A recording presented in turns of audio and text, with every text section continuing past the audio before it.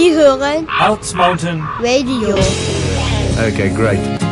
Willkommen zum Hearts Mountain Radio Podcast. Wer uns noch nicht kennt, ich bin Paul. Und das ist Piotr, mein Rabenfreund. Also, wir beide betreiben im Harz einen Radiosender und neuerdings mit einem ganz jungen Team der Brockenbande. Heute unterwegs für euch zu einem spektakulären und historischen Ort in Bewegung. On Air für die Brockenbande Luke und Henry. Hi, ich bin's, Luke. Ihr kennt mich hoffentlich noch. Wir stehen gerade an der Talstation der Wurmbergseilbahn. Denn heute fahren wir mit der längsten Seilbahn Norddeutschlands zum Wurmberg.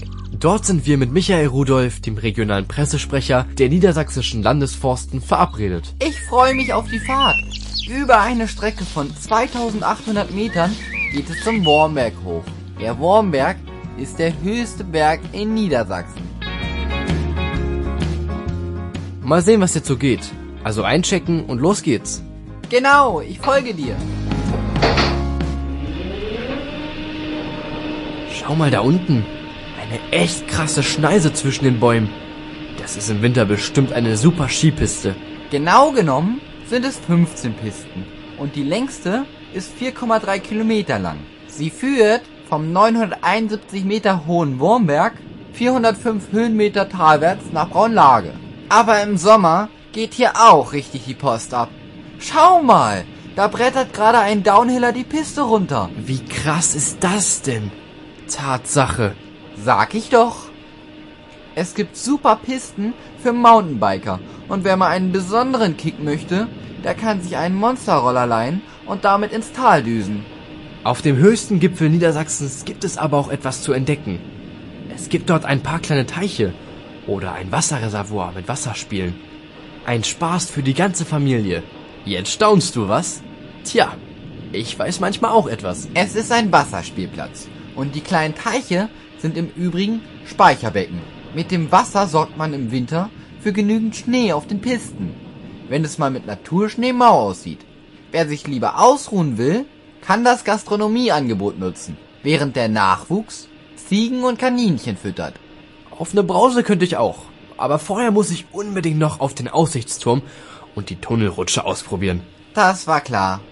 Man hat aber vom 32 Meter hohen Turm einen wundervollen Rundumblick über den Harz. Perfekte Sicht auf den höchsten Berg Norddeutschlands mit 141,2 Metern. Den Brocken. Apropos Aussicht.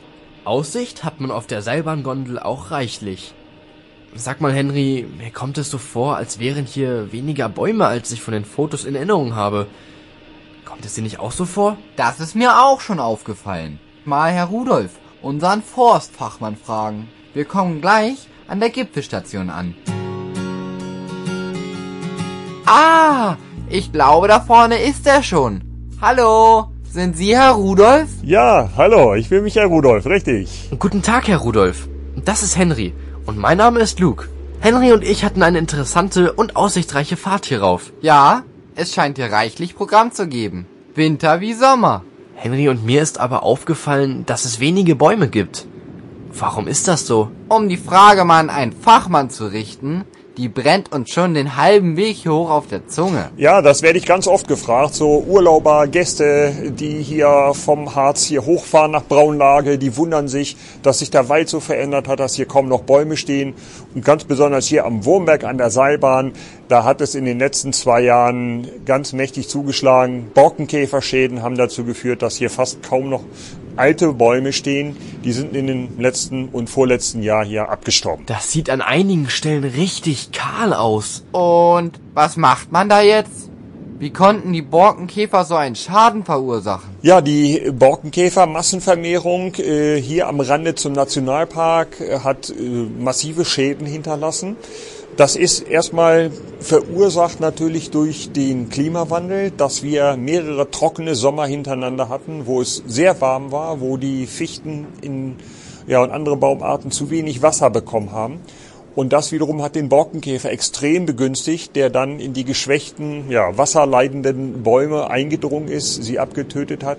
Und dadurch hat sich ja, Monat für Monat ein immer größerer Bestand an Käfern aufgebaut. Sodass äh, jetzt in der Folge im dritten, vierten Jahr äh, die Wälder hier im großen Stile absterben. Eine Folge des Klimawandels, dieser Borkenkäfermassenvermehrung und lange anhaltender Dürre. Das heißt, äh, wir brauchen hier eigentlich im Harz wieder viel mehr Regen, viel mehr Nebeltage, ein kaltes, äh, raues Gebirgsklima, wie es für den Harz ja typisch ist und nicht dieses hochsommerliche, äh, langanhaltende Trockenwetter äh, mit kaum Niederschlag. Das ist eigentlich für den Wald Gift hier oben. Also durstige Bäume sind besonders anfällig für Borkenkäfer? Scheint so.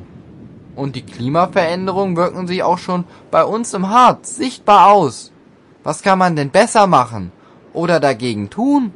Ja, wir können jetzt aktuell nicht an der Klimaschraube drehen und es zu unseren Gunsten verändern. Dann würde jeder in eine andere Richtung drehen. Aber ähm, wir als Forstleute von den Landesforsten können natürlich jetzt äh, Folgendes tun, dass wir wieder neuen Wald anpflanzen. Da, wo die alten Bäume jetzt weg sind, äh, pflanzen wir zum Beispiel überwiegend junge Laubbäume und Nadelbäume in Mischung. Wir machen also nicht mehr den reinen Fichtenwald, wie das nach dem Zweiten Weltkrieg hier angepflanzt wurde, sondern heute setzen wir auf gemischte, äh, verschiedenartige Wälder, in denen Buchen vorkommen, Bergahorne, Fichten, Douglasien, Malerchen, sogar neuerdings auch die Weißtanne. Wir versuchen mit möglichst vielen verschiedenen Baumarten den Wurmberg wieder zu bepflanzen, damit einfach das Risiko, äh, dann gestreut ist, wenn es mal einer Baumart nicht gut geht oder die ausfällt durch Schädlinge, durch Sturm, dass noch genügend andere Bäume da sind. Das ist unsere Strategie dabei. Also möglichst an den abwechslungsreichen gemischten Wald hier wieder aufforsten. Warum hat man denn damals so viele Fichten gepflanzt? Das war wohl ein Fehler. Das stellt sich aus heutiger Sicht als echter Bumerang heraus. Ja, das ist äh, aus heutiger Sicht natürlich äh, schwierig, weil diese reine Fichtenwirtschaft auch risikobelastet ist. Wenn ja, so ein Ereignis wie ein Trockensommer, Sturm oder Borkenkäfermassenvermehrung äh, zuschlägt, dann ist gleich der gesamte Wald betroffen. Aber man muss das aus der Geschichte verstehen, dass hier unsere Vorfahren vor 70, 80 Jahren auf die Fichte gesetzt hatten, weil bei den Neuanpflanzungen sie gar kein anderes Saatgut hatten. Es gab keine andere Baumarten, die sie hätten pflanzen können. Und die Fichte war die unbestrittene Holzart für den Bergbau, denn der Harz ist eine Bergbaulandschaft, hier wurde immer Holz benötigt.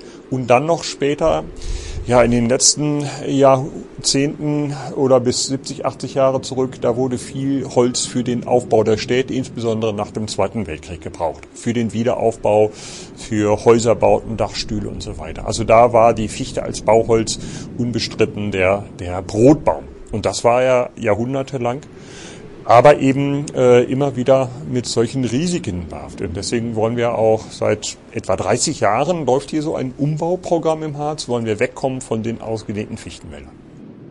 Dann gibt es also schon seit 30 Jahren Projektflächen. Tja, jetzt bekommen diese kahlen Flächen nochmal eine ganz andere Bedeutung. Ja, das sieht man zum Beispiel jetzt hier auf unserer Fahrt äh, zum Wurmberg hoch von der Seilbahn aus, sehen wir auch schon äh, die, die bunten angepflanzten Laubwälder. Das sind Ahorn- und Buchenpflanzungen, die sind in den Ende der 80er, 90er Jahre hier am Fuße des Wurmbergs entstanden. Und das sind jetzt heute sozusagen unsere ja, Vorzeigeflächen, die wir eben schon vor langer Zeit äh, angepflanzt haben und die heute den neuen Wald darstellen, wo die alten Fichten über den Köpfen verschwunden sind, sind das unsere Hoffnungswälder, ähm, die auch zeigen, wie wichtig es war, vor über 30 Jahren schon den Waldumbau hier im Harz und speziell am Wurmberg einzuläuten. Dann muss ein Forstwirt viel Geduld und Weitblick haben. Wir müssen sehr weit vorausschauen, planen und handeln, denn die Bäume, die wir in diesem Jahr 2022 pflanzen, die werden ja erst in 80, 100, 150 Jahren mal alt und groß oder vielleicht erntefähiges Holz äh, hervorbringen. Und so weit voraus müssen wir Entscheidungen treffen, ob die richtig sind, ob die dem Klimawandel auch trotzen können. Das muss sich dann zeigen. Aber wir haben ja gar keine andere Möglichkeit, als jetzt etwas zu tun und auf eine möglichst äh, viele Vielzahl verschiedener Baumarten zu setzen. Das ist die Strategie dabei. Und in der Hoffnung, dass sich dann eben bestimmte robuste Arten behaupten. Die Fichte wird zum Beispiel immer hier am Wurmberg äh, zu Hause sein. Die wird hier immer wieder wachsen, aber nicht mehr in dieser ja, Dominanz, in dieser Flächenausdehnung, wie man das äh, vom Harz her jahrzehntelang kannte. Stellt denn der Harz eine besondere Herausforderung dar? Ja, der, der Harz ist schon herausgehoben in seiner Bedeutung. Einmal ist er das nördlichste Mittelgebirge.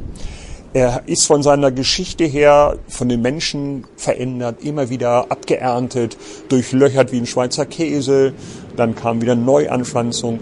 Also der Harz ist auch ein ganz extremes Beispiel für Veränderung, die der Mensch in der Natur hinterlassen hat. Durch fast 2000 Jahre Bergbau ganz stark geprägt. Mensch, Natur und Forst in Einklang zu bringen, ist also die größte Herausforderung? Das ist hier wirklich ein Brennpunkt, insbesondere am Wurmberg. Hier haben wir eine extrem hohe Besucherdichte, Sommer, Wintersport zu allen Jahreszeiten. Trotzdem, äh, Waldschutz spielt hier eine ganz wichtige Aufgabe. Das heißt, für uns als äh, Landesforsten hier neuen Wald wieder hinzubekommen, ist jetzt ganz wichtig, um Erosionsschäden zu verhindern, ne? damit der freigelegte Boden nicht weggespült wird damit hier schnellstmöglich ein Wald wieder da ist, damit auch die Seilbahn zum Beispiel Windschutz hat, ne? damit die nicht immer von den starken Windböen hin und her geschaukelt wird, damit die Spaziergänger wieder im Schatten auch mal spazieren gehen können. Aus Klimaschutzgründen ist es wichtig, dass wir hier einen Wald schnellstmöglich wieder herbekommen, damit das Kohlendioxid aus der Luft gebunden wird, im Holz gespeichert wird. Ja, und dann natürlich auch aus Trinkwasserschutz. Die Wälder hier am Wurmberg sind ganz wichtige Wasserspeicher, die für Braunlage, für die Stadt hier das Trinkwasser filtern, reinigen, speichern und gleichmäßig abgeben. Also aus ganz vielen Gründen ist es wichtig, äh, dass wir als Landesforsten hier wieder schnellstmöglich einen Wald aufbauen, aufpflanzen und diesen Wald dann auch widerstandsfähig heranpflegen, damit er alt werden kann, groß werden kann, gemischt und unseren Enkeln und Urenkeln mal vielleicht wertvolles Holz liefern kann. Neben dem Thema Klima und Wald spielt im Harz ja auch das Thema neue alte Waldbewohner eine immer größere Rolle. Stichworte wie Luchs, Wildkatze, Wolf. Naja, es gibt in allerhand äh, auch seltene, verborgene Arten, Pflanzen- oder Tierarten, die nicht so gleich auffallen. Aber es gibt auch größere Vogelarten wie den Uhu, wie den Wanderfalken, die auch im Harz schon lange Zeit vorkommen, die durch äh, intensive Schutzmaßnahmen ihrer Brutstätten und ihrer Lebensräume auch wieder zugenommen haben. Die Wildkatze streift seit ewiger Zeit durch den Harz, ist hier eine alte Bekannte, hat auch gut zugenommen. Naja, ab und zu guckt mal ein Wolf vorbei, daran müssen wir uns auch gewöhnen. Das ist auch ein, ein Stück äh, Entwicklung, aber ansonsten gibt es auch äh, ganz kleine, unscheinbare Arten. Äh, in, den, in den Bächen leben Bachforelle, Bachneunauge, äh, typische Fische, die in den klaren Harzer Bächen zu Hause sind. Die Wasseramsel geht dort auf Beutezug. Und äh, so gibt es Libellenarten, seltene Fledermäuse, die in den Stollen oder in Baumhöhlen zu Hause sind. Da könnte man noch ganz viele Arten aufführen. Aber der Harz ist eben reichhaltig in seiner Tier- und Pflanzenwelt und manche Ecken sind einfach noch nicht erforscht. Eine tolle Erfolgsgeschichte ist eben, dass die ökologischen Bedingungen in den letzten 20, 30, 40 Jahren deutlich besser geworden sind. Und das zeigt uns, wir sind auf dem richtigen Weg und den werden wir auch weitergehen. Ah, okay. Eine letzte Frage habe ich noch. Wie kam sie zu Ihrem Berufswunsch? Ja, bei mir war das so, ich bin früher gerne so als Jugendlicher in den Wald gegangen. Natur war so für mich äh, der liebste Aufenthaltsort. Und dann habe ich ein Fernglas geschenkt bekommen. Dann gab es in der Familie einen Förster, der hat mich sozusagen angetriggert, der hat mir diesen Beruf nahegebracht. Und dann war die Entscheidung eigentlich relativ schnell klar. Also mit äh, Schulabschluss war der Wunsch äh, gegeben, du möchtest irgendwas mit der Natur machen, draußen im Wald. Man äh, arbeitet nicht nach kurzfristigen Planungen, profitorientiert, sondern das ist etwas, wovon man selber ja nichts mehr hat, sondern man arbeitet mit dem, was, was wir selber geerbt haben und gibt etwas weiter und verbessert vielleicht die Bedingungen für unsere künftigen Generationen. Und das ist das, was an dem Beruf so Freude macht. Vielen Dank für das wirklich spannende Gespräch und die Informationen, die Sie uns gegeben haben. Manches verstehe ich jetzt wirklich besser. Es eröffnet eine völlig neue Sicht auf einiges. Vielen Dank. Ja, dann noch viel Spaß hier oben auf dem Wurmberg und äh, noch eine schöne Zeit. Bis zum nächsten Besuch hier in Braunlage. Tschüss. Für uns wird es jetzt aber wieder Zeit für die nächste Gondel ins Tal. Und zurück zu Paul ins Studio. Sollen wir den Monsterroller nehmen? Äh, nein. Das ist mir heute zu viel Abenteuer.